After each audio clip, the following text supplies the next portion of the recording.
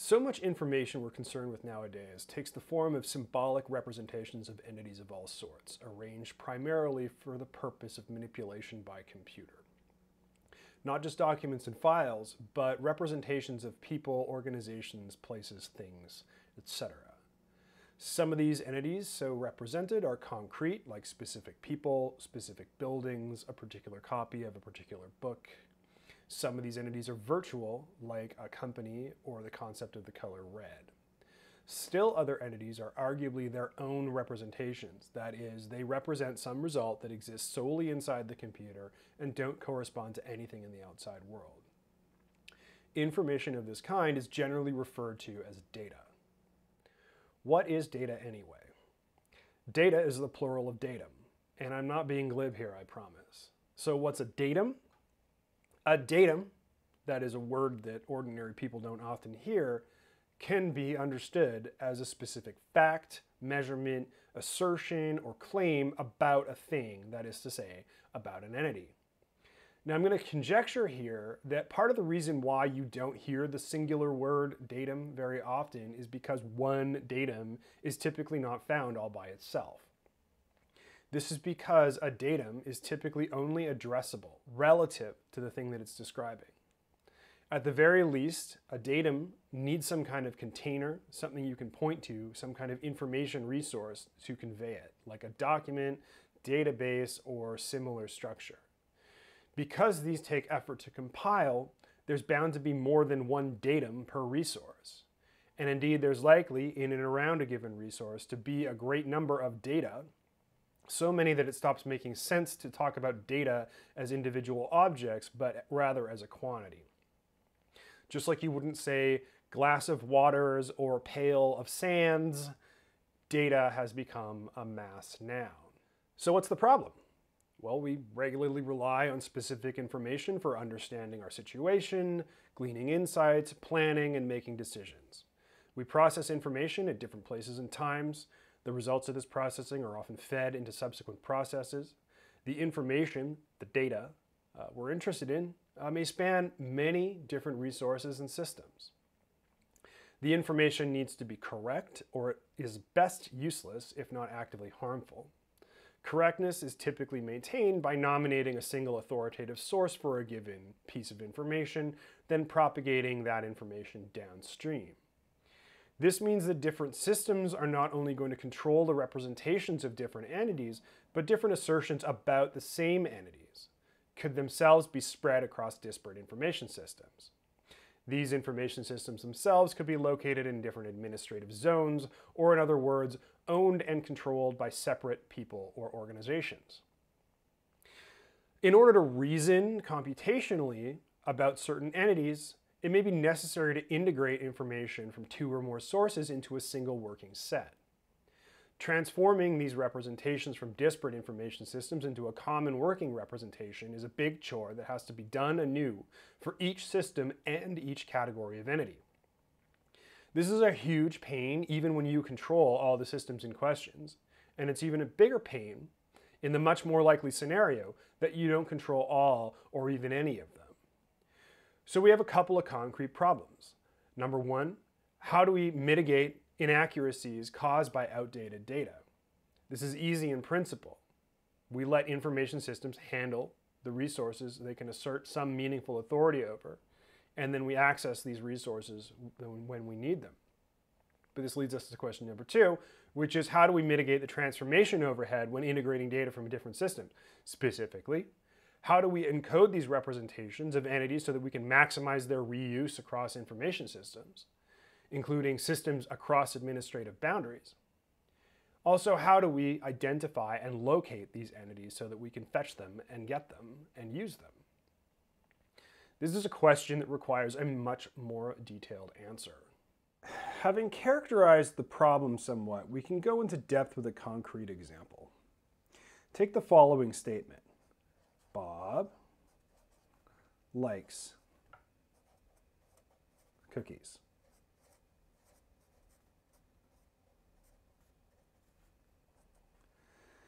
Now, if you were to write this down uh, as an English sentence, it may be intelligible to you, but as computational raw material, it's essentially worthless. About all you can do with this text, Bob likes cookies, is search it for keywords, and that won't tell you much.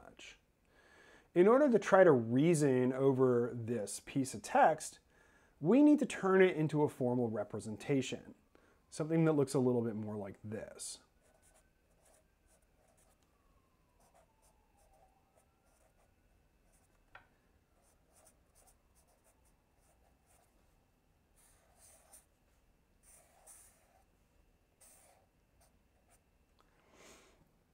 Now, it turns out that you actually need some pretty sophisticated natural language processing to get uh, this uh, text, uh, piece of text, into a structure like this.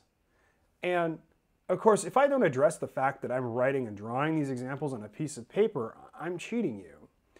Because it takes a state-of-the-art neural network, that is to say artificial intelligence, to get handwritten text into digital text to which the standard natural language processing uh, could subsequently be applied.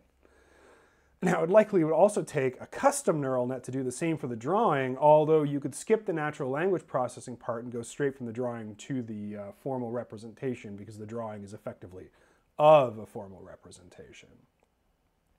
And this is, of course, with the caveat that all this cutting edge artificial intelligence is going to probably make a mistake about 10% of the time.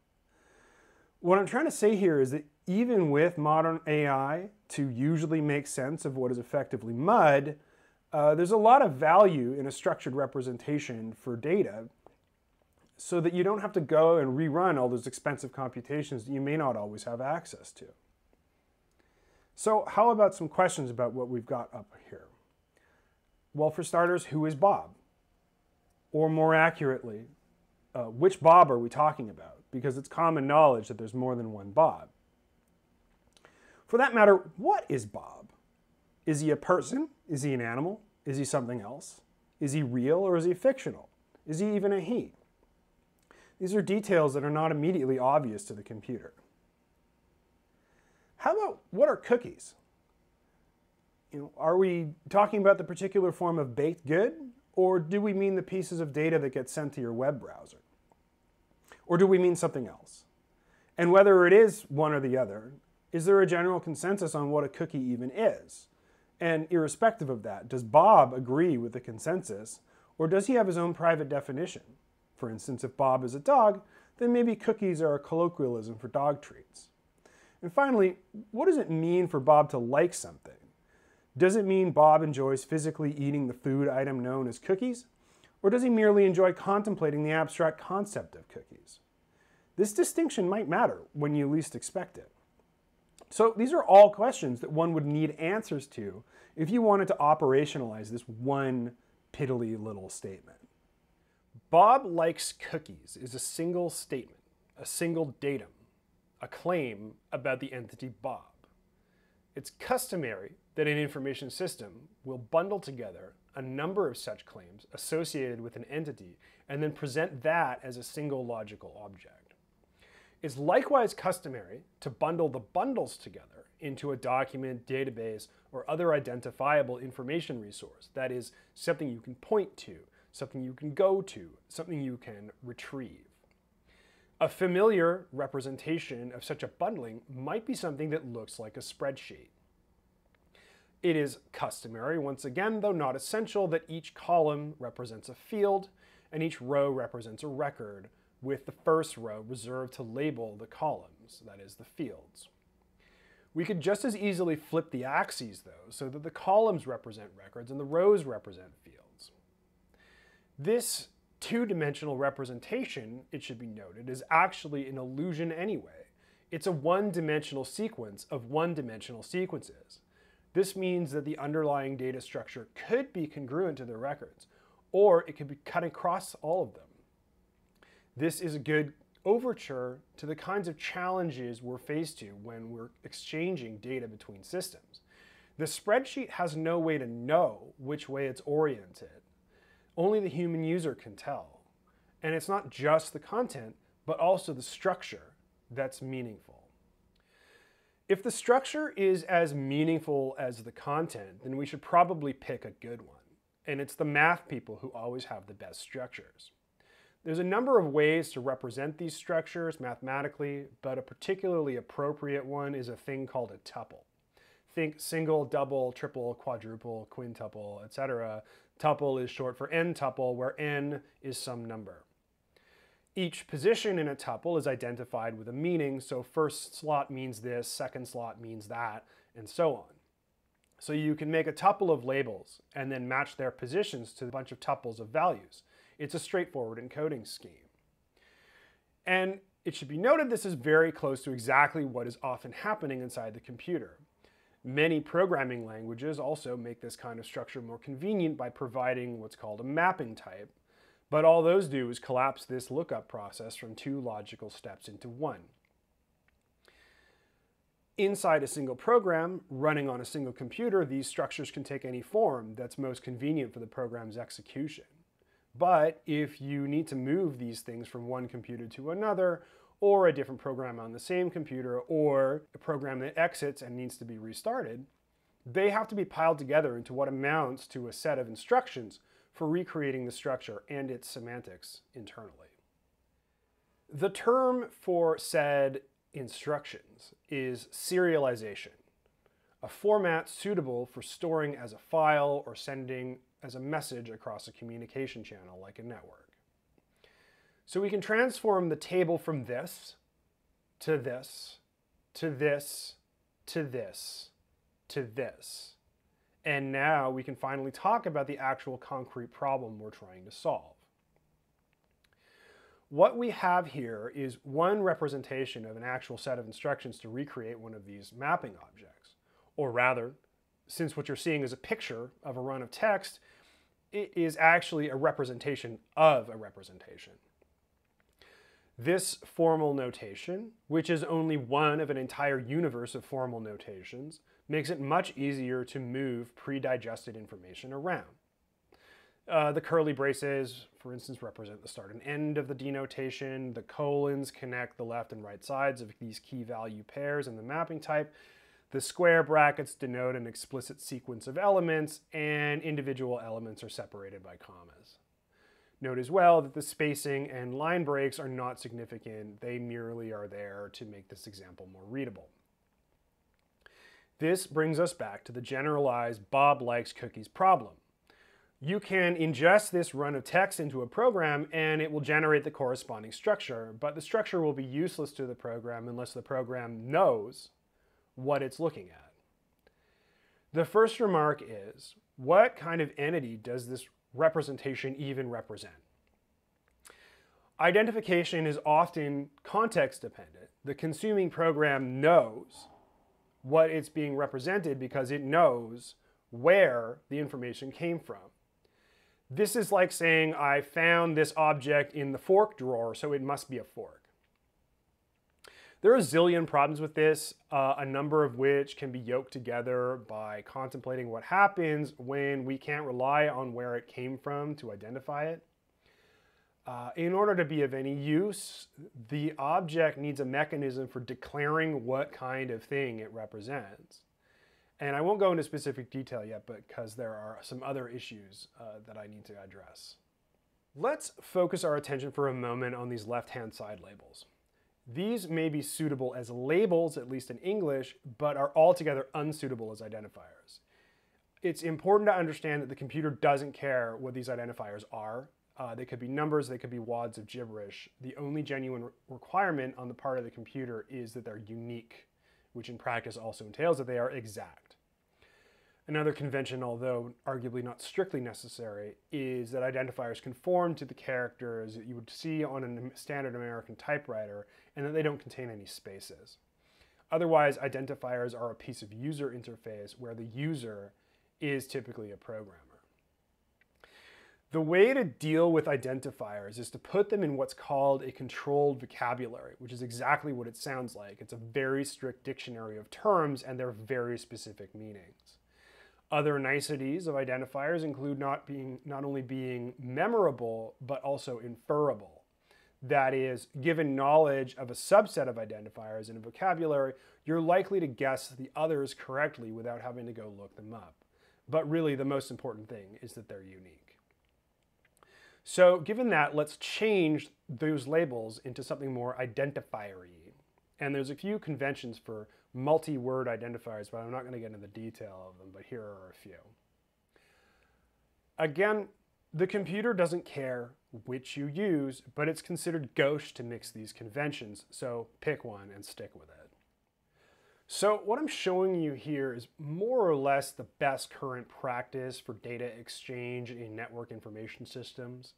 It nevertheless leaves some serious problems unsolved. So you pile together all your terminology into a controlled vocabulary, you put that online in some ad hoc form, and then you repeat the process for every information system you create. And everybody on the consuming side has to do this for your system and every other system they consume data from and their own system. So we have a situation where every information system that publishes a data interface has to define what it means by every term in its controlled vocabulary, though most of these systems are very often talking about the same things, people, companies, products, documents, etc considerable effort has to be done on the consumer side, either reconciling different terms that mean the same thing or reconciling the same term that's used in two or more systems that mean different things. The root of the problem is that these are just words and anybody can use them privately however they like. For instance, I can make a private rule that asserts that every time I say the word apple, what I mean is banana. But getting other people to adopt this convention requires a lot more muscle. Entities like Facebook and Google can simply command compliance with their worldview by dint of their sheer size of their platforms, which operate as totalitarian fiefdoms. You have to speak the king's tongue, that is, in order to interact with the realm. This limits not only what you can say, but also what you can mean, since interpretation is completely up to the platform in question. This is the kind of thing that standards bodies, or at least industry consortia, exist to settle. A lot of these entities are just big clearinghouses anyway for what we mean when we say X. But then come the politics. It turns out that being able to impose public definitions of what words mean is incredibly powerful. It's therefore naturally highly contested territory. And then these standards bodies are often captured by their most powerful members.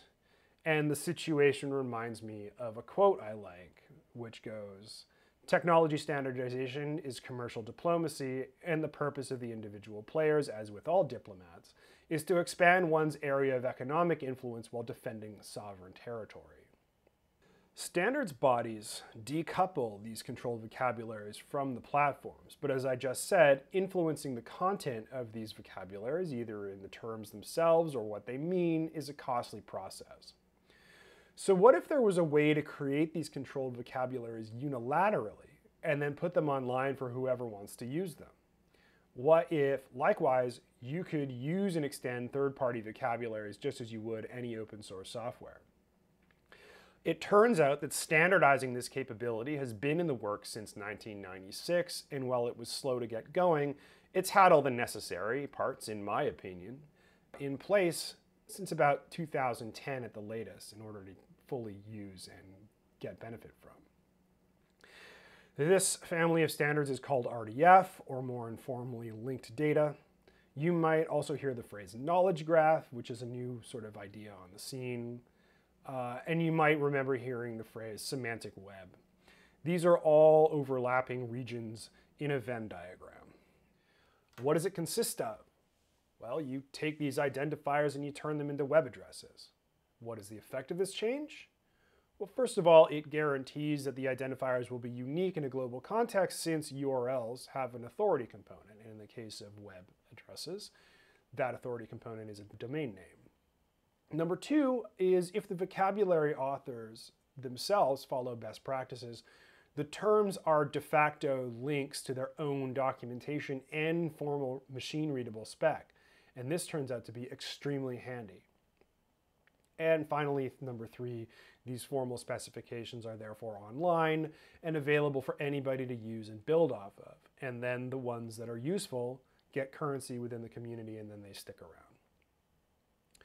What about side effects? Sure. The identifiers themselves are naturally going to get longer. You can't really avoid that. This means there's more to type and therefore more to mistype if you're laying these structures out by hand. By the way, don't lay these structures out by hand. There's a lot of automated help you can use for it. You're also going to see arguments uh, that all of these extra letters are inefficient for storage and transmission of the data. In practice, any efficiency penalty is going to be negligible for a bunch of reasons, compression and other stuff. Um, there's likewise uh, common conventions that make the basis for this complaint to go away. There is also, in my opinion, the more serious problem of these vocabularies disappearing from the web or their authors otherwise losing control over them, but this can be mitigated through sensible practices as well. And I can also remark that we can give the same URL treatment to the identity of the resource itself along with the type of entity it's supposed to represent. So why aren't these standards being used more broadly? The answer is that these standards are being used, just not in the one place you'd expect them to be, that is mainstream web development. In fact, the big operators are publishing and journalism, other than the web ostensibly, Glamour, that is galleries, libraries, archives, museums, and records. Finance, hedge funds, etc. Uh, government, but the big one, uh, ostensibly, is biomedical. And you see that industry's fingerprints all over the place in this space. These standards also are being used on the web in a narrow sense. Google and Facebook use RDF to help you help them put enhanced web page previews on Google and Facebook, respectively. But they've managed to mangle it each in their own way so that the information isn't terribly useful for anything but putting web page previews on Google and Facebook. And I should also remark that Twitter made a superficially similar effort, but it doesn't look like they even tried to comply with the standards. And I'm not exactly sure why this is the case, that these standards don't get wider adoption though. A common argument against them is usually an aesthetic one, couched in efficiency at some scale or other. Often the charge is that the technology unnecessarily complicates things.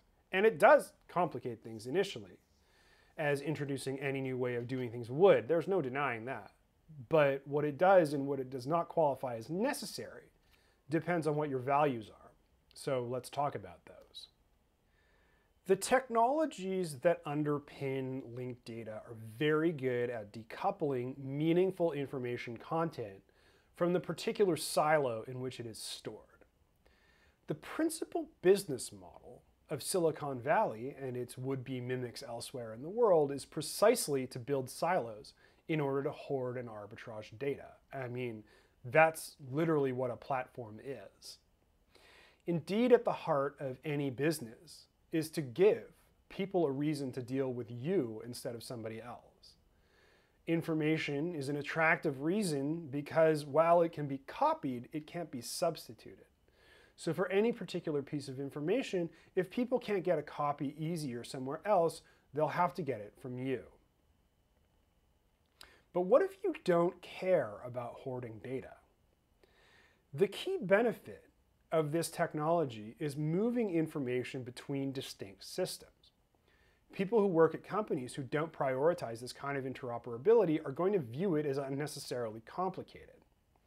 We can also postulate that this is because gaining proficiency around radical interoperability simply doesn't get you promoted in what has come to be called surveillance capitalism.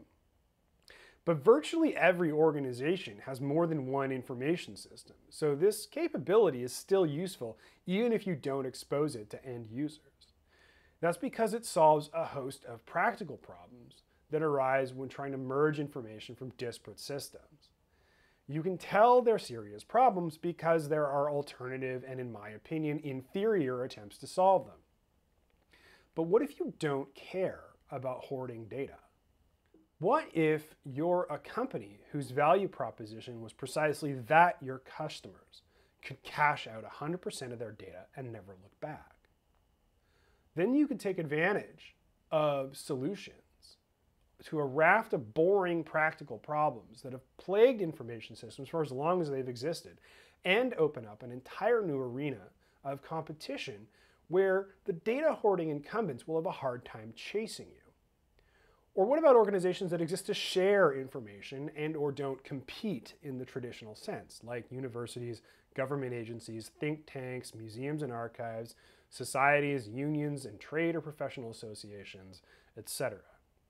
Organizations like these don't have the same priorities as tech startups, so why derive their methods from Silicon Valley values? From my own perspective, and in my professional capacity, there are two principles I adhere to. One, that a business relationship is likely to be more equitable if there are alternatives to it.